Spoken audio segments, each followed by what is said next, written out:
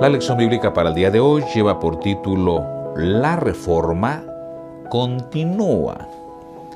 Apocalipsis 18 y el versículo 1 dice así. Después de esto, vi otro ángel descender del cielo con gran poder y la tierra fue alumbrada con su gloria.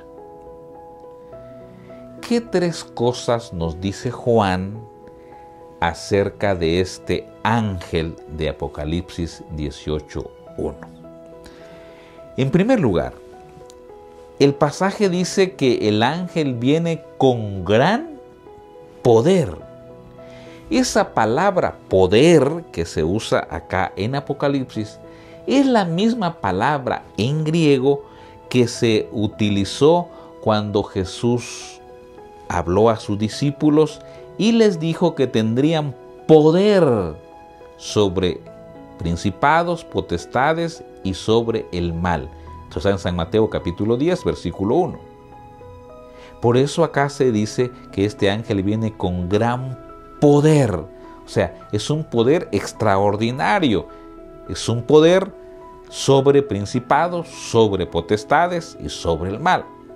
En segundo lugar, el pasaje dice que el ángel viene para alumbrar la tierra. Las verdades que deben promoverse, en realidad deben hacerse como una luz para que alumbre la tierra. Y una vez que esa luz viene, la oscuridad que hace, pues se desaparece, se desaparece. Por eso los verdaderos cristianos llegan a ser luz para el mundo y la palabra Señor es luz para el mundo. En tercer lugar, el pasaje dice, si leemos ahí más adelante en Apocalipsis 18 del 1 al 4, dice esta parte de la Biblia que el ángel viene para anunciar la caída de Babilonia y hacer el último llamado al pueblo de Dios a que salgan de Babilonia. Es decir, el ángel viene a decir, ha caído, ha caído Babilonia, pero también hace un llamado, salgan de Babilonia. Ahora, ¿qué lecciones podemos aprender de esta parte?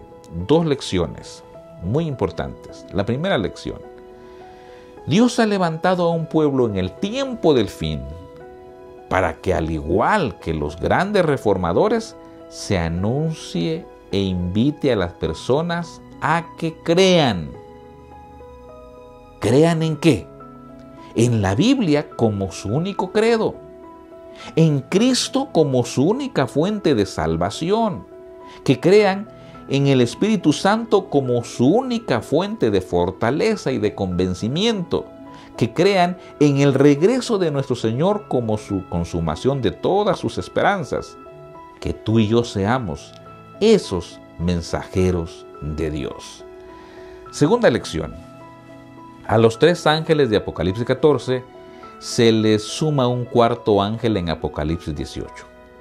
Este ángel da poder a la proclamación de los tres ángeles para que la tierra se ilumine con la gloria de Dios. Ahora, ángel significa enviado. Tú y yo somos enviados a cumplir esa misión del cuarto ángel con el poder de Dios. Que se pueda cumplir en tu persona y en mi persona. Dios te bendiga. Soy Eber Recuerda, hoy es el día de tu salvación.